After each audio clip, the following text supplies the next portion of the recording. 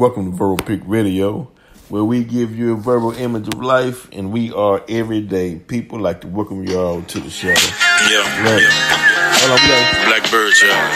let's get into a little blackberries by yours truly, Cole. Fly Black me away. on this Monday. To a better day. Better day. Got a nice topic. What a piece at? Seems like we under attack. Gotta watch my own back. In fact, 400 years of oppression make you study, you listen, make you turn your mind into a weapon. Universe is in session. Settle down and teach. Count your blessings. If only a few of them I can reach. Praying to the God I don't self-destruct. Black on black crime, man, good food. Talking real life mission strictly for the youth. Third eye vision, cause the power is truth. Don't let nobody stop you. Stack loot, see what your mind. For take, aim and shoot, and that's true. Come on. Blackbirds is coming for me. Yeah. They gonna take me away and set me free. Now, now, now, now. I see blackbirds is coming for me.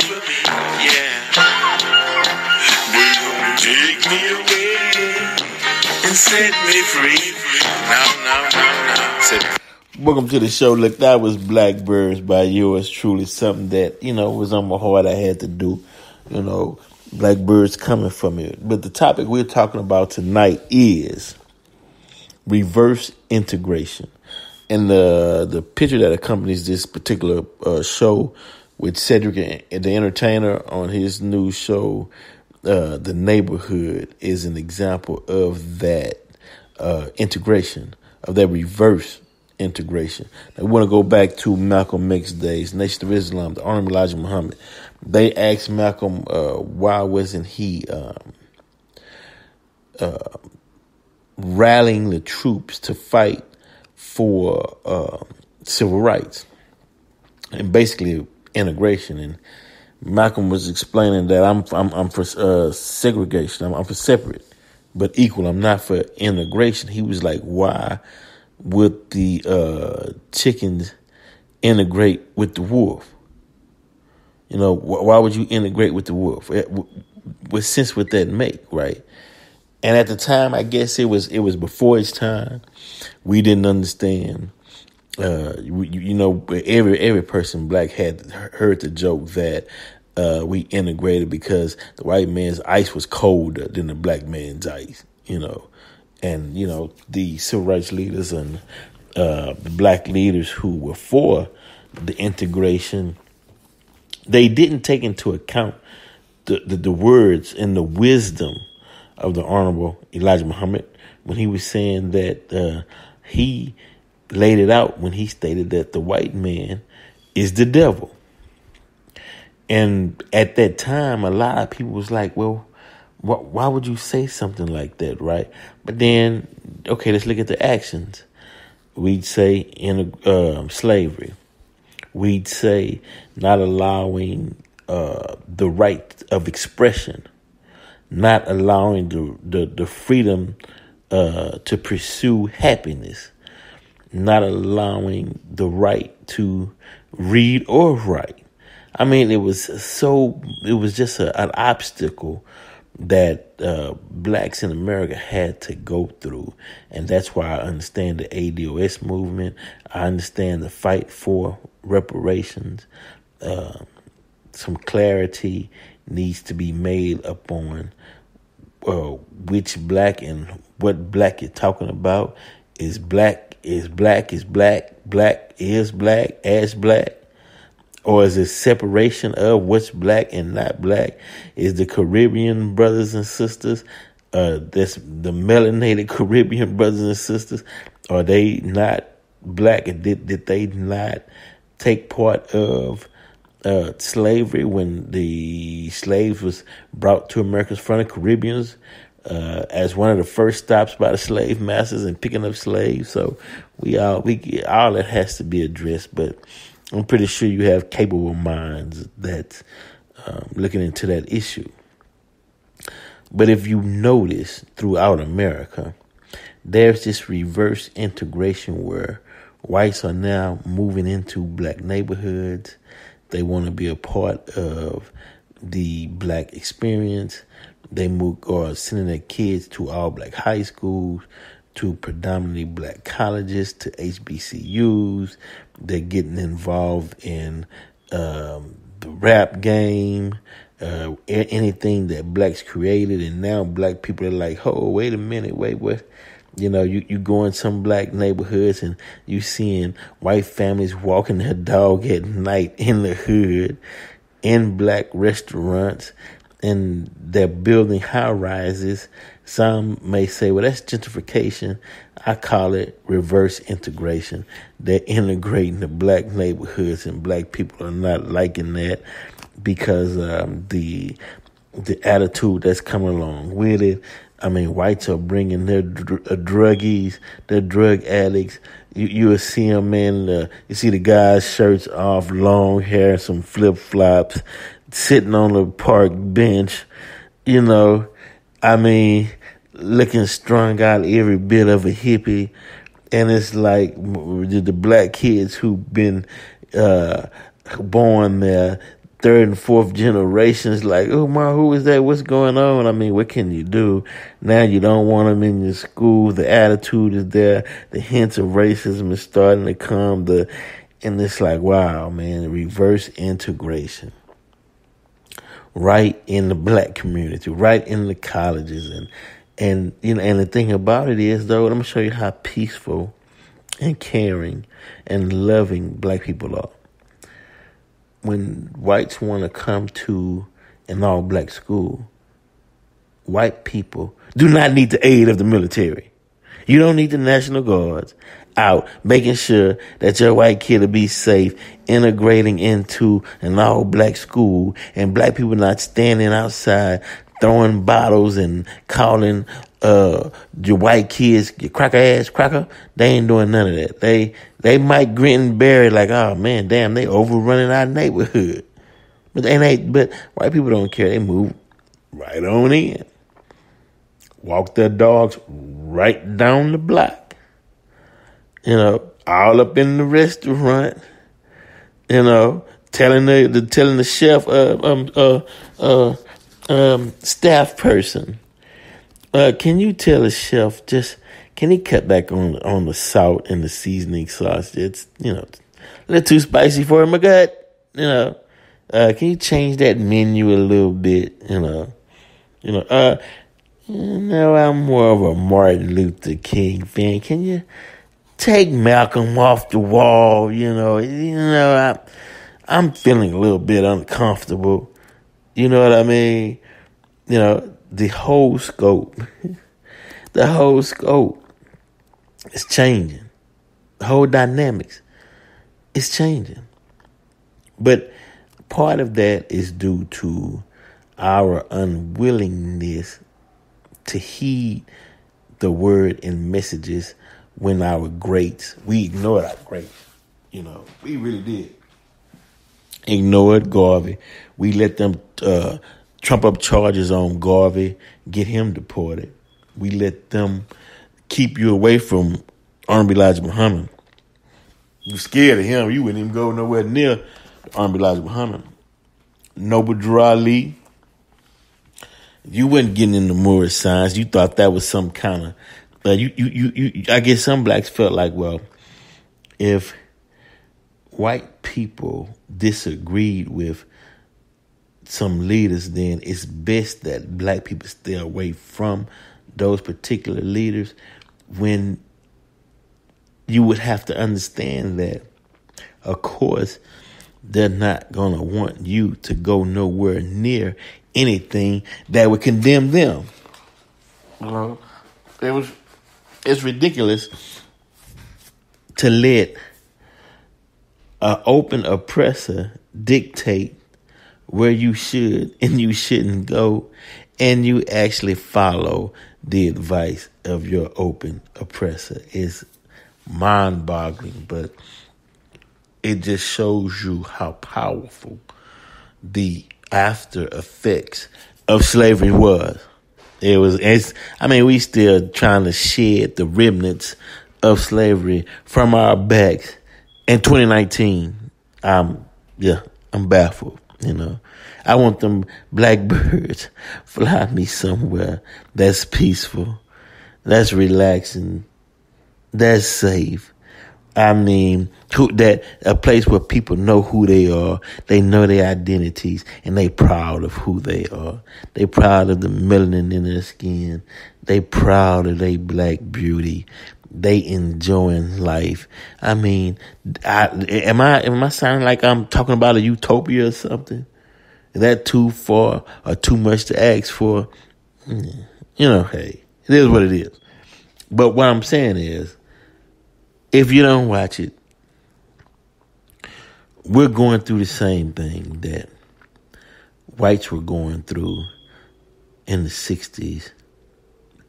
The only difference is is that we we're not putting up a big fight about it. I don't know if we laid down or if we are just that peaceful and loving type of people to where we welcome in everyone, even at our detriment, knowing that we won't have it anymore. But the sacrifice to see others happy and enjoying where we stay means so much to some for that brief moment in time to see smiles on white people's face. Maybe some feel like it was all worth it. You know, hey, if I can greet this white family and their children walking down the street with their dog in an all black community and I step over to the side and say, how you doing? And they look at you and be like, yeah, whatever's wrong. Keep going. You know what I mean? Yeah, whatever. Yeah, pretty soon we're gonna take all. It's gonna be ours. We, you don't understand. We're on a campaign to move you out. We want to be closer to downtown, our jobs. You know what I'm saying? The inner city. Hey, you had it long enough. You know, we're going to integrate. We're going to put our kids in your school and we're going to change programs and we're going to weed you out and, you know, we're going to raise taxes up and you're not going to be able to stay next to these high rises. We're going to move you out. Then we're going to knock down your old homes and you come back five years later, you're not going to even recognize that this once was a black neighborhood. You know what? Well, matter of fact, we'll change the name, names of the places. We might even rearrange street signs and change it up. You know, just, just to get rid of your memory that you were ever here. We're gonna change all. We're gonna change everything around. That's what they're saying. That's what no. That's what they're doing. And then you say, well, okay, okay, okay. And you go talk to your black officials, black leaders. Hey, uh, black leaders, what, what, what's going on? You know, I'm, I'm, seeing more. It's like we we been taken over. What's what's going on? You know, they they shutting down grocery stores. They're uh, you know, changing systems that we created that our forefathers and grandfathers uh, put into place. Uh, these are starting to change. I mean, who's fighting back? What's going on? What's, what's really happening? And, and this is the, the famous line for our politicians. Look, when y'all voted me in, you didn't ask me to do nothing. So I did nothing. Now you want to come around here crying about why I didn't do nothing? You voted me in and and and you didn't demand anything of me and the people saying well because we thought you had our best interest in heart that you was, was going to speak for us yeah but i'm not but you got to remember they're not going to think for you see that's how that's the scapegoat I'm I didn't do anything because you didn't ask me to do anything. So I'm over here cutting deals, making money. You know, uh, you know, they came with some money and was like, "Hey, uh, we want to build over here. Who owns this uh, real estate? Can you uh, get me on the inside?" Ah, yeah, was so and so on it, man. But I thought they said, you know, it's been in his family for generations, and you know, in this community, and we'll, well, I tell you what, we'll double it. Well, come on in. Yeah, well, you know, we'll, wait, wait for a minute. We'll give it two weeks, and if anybody acquires about it or protests, then you know, we might can't do the deal.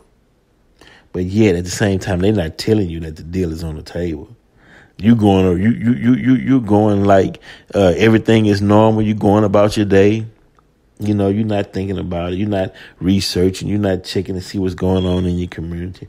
They sitting back waiting, and you know they'll they'll put a post, uh, they'll put a text, they'll put something on social media. Uh, we got a company interested in buying lot so and so and so and so street, and that's it. Then he gets his cut. They make the sale you see a, a, a, high rise going up, and you're like, "Who sold that?" Well, hey man, I put it on social media and, and, and said that somebody was interested in buying a lot. Nobody responded.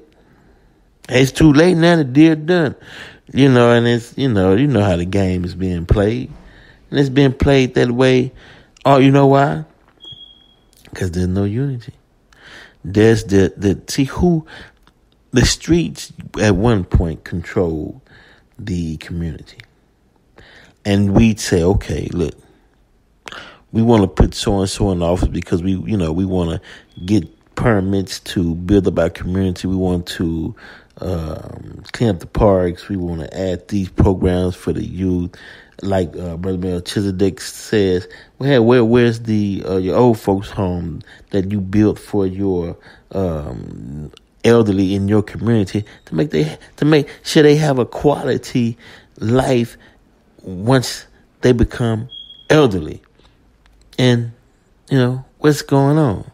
Who who we supposed to care for each other?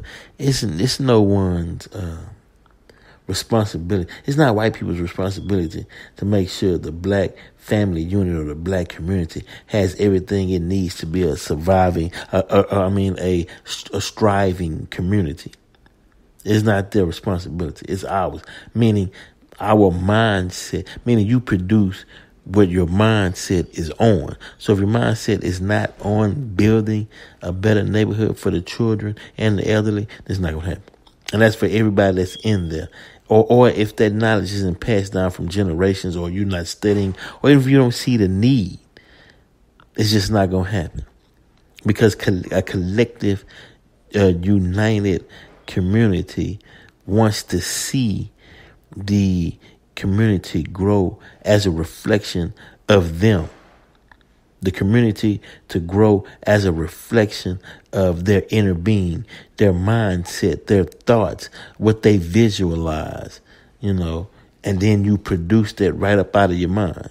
You don't go and just sit on your hands and, you know, watch things tear apart and, you know, you so busy. I don't know if it's infighting or you caught up in a low frequency vibration of music uh, did the gang life overcome the community? Uh, did these uh, television shows and movies that they put out, and where they still putting black people in a degrading role, and the frustration, uh, economic, um, um, economic depravity.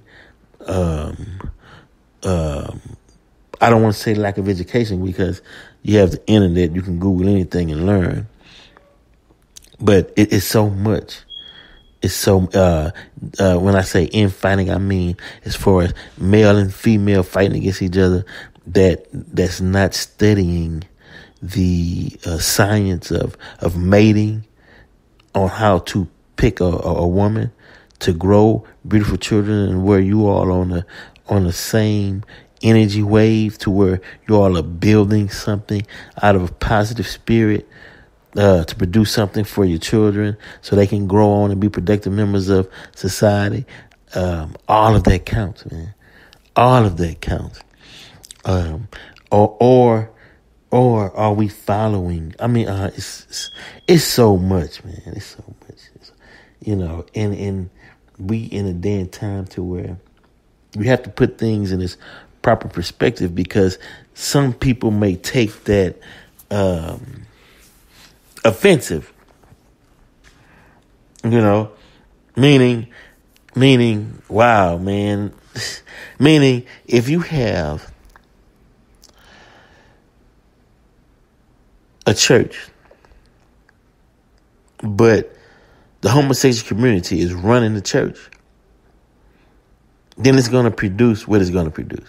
If you have the community, black community, and lesbians and homosexuals are running the community, then you have what you have. And I'm not politically correct where I got to say, uh, I'm not, I'm not degrading the LGBTQ community. No, that's that's not that's not what I'm saying. So let me explain what I'm saying. If you if you're uh, let's say 65 on down to let's say 35, right? You remember a time where uh, the 70s were, you know, winding down. The 80s, it was black power, black pride. You had black families um, uh, setting up goals, standards, setting up directions in the way that they wanted the community to go, and that was the head. And so at at one at that point, close knit community, uh, black schools, uh, the the I don't care what high school, I don't care if it's TSU Prairie View, uh, Alcorn State, uh, you, you, just name it. The um, you had the Black Queen and the King. Uh, you know, uh, engineers talking about doing businesses. It was said loud and black and I'm proud. It, we was rolling. Uh, you know, and matter of fact, we had to because there was no reverse integration at the time. White folks wasn't even trying to come up in the black community. They thought they was like, look, this is what we're gonna do. We're gonna send some drugs in, in all their communities. We're gonna send some guns in the communities because black folks ain't making guns. How they wind up in the hood? They ain't traveling outside getting guns. How the drugs wind up in the communities? Like I said, we ain't got no planes and boats bringing them in the hood. So everybody know this story, right? Okay. And so it's like, okay, look, we're gonna drop the guns, we're gonna drop the drugs, and we're gonna give it like 15, 20 years. They're gonna they're gonna be on dope. They're gonna damn near kill each other off. We can move in and take this property back. Right.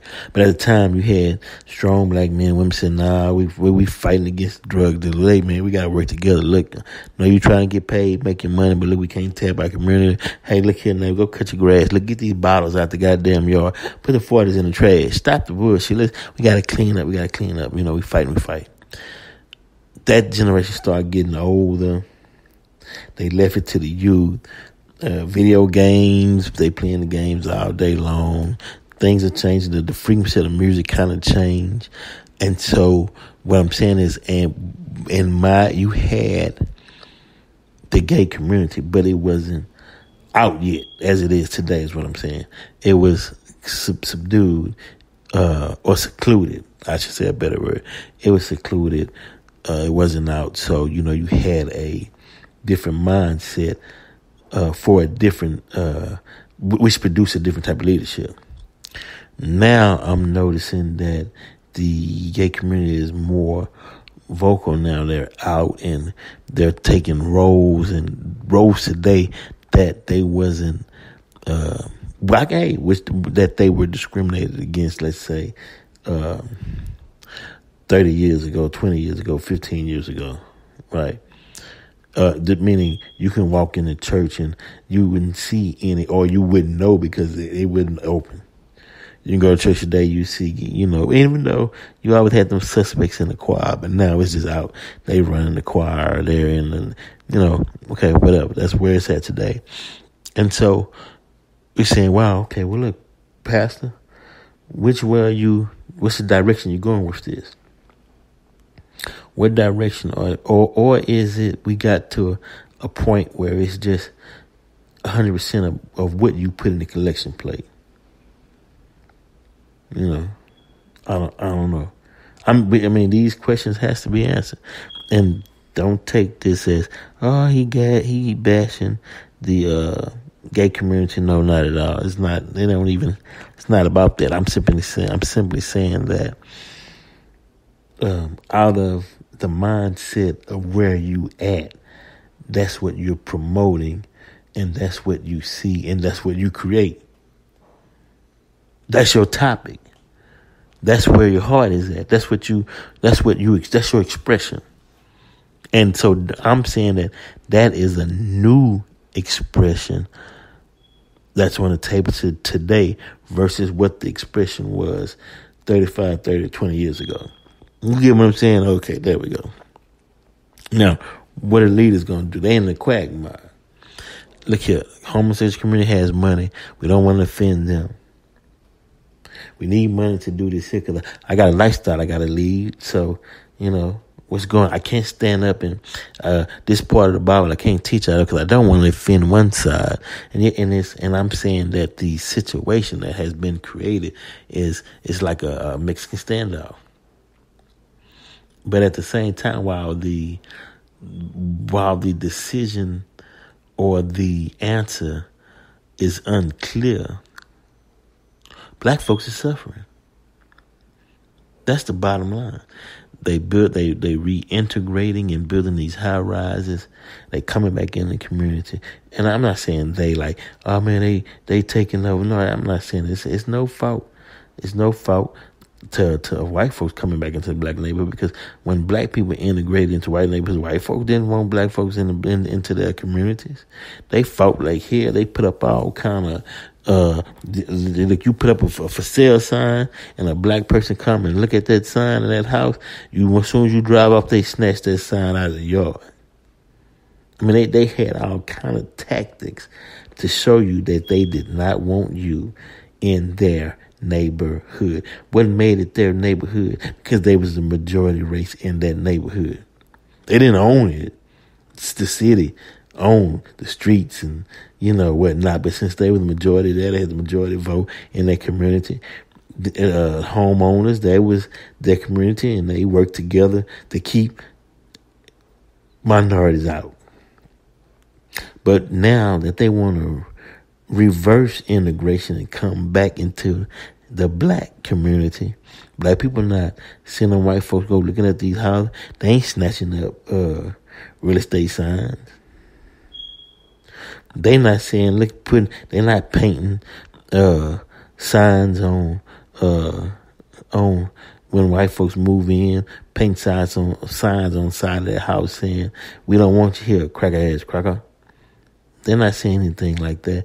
They not uh they're not burning a a, a whip or a cross or a, you know what I'm saying in their yard. Protesting, black folks not doing that.